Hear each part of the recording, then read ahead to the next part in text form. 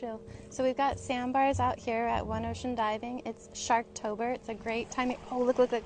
So they're already going after debris. So these are plumerias, and it's still warm enough here that we have plumerias. I love them. I see Keanu. So we're gonna put these in the water and we're gonna watch what happens, what they think of the beautiful flowers. So check them out, check them out. Just keep filming. Ooh, ooh, we see it, we see it. Oh, beautiful.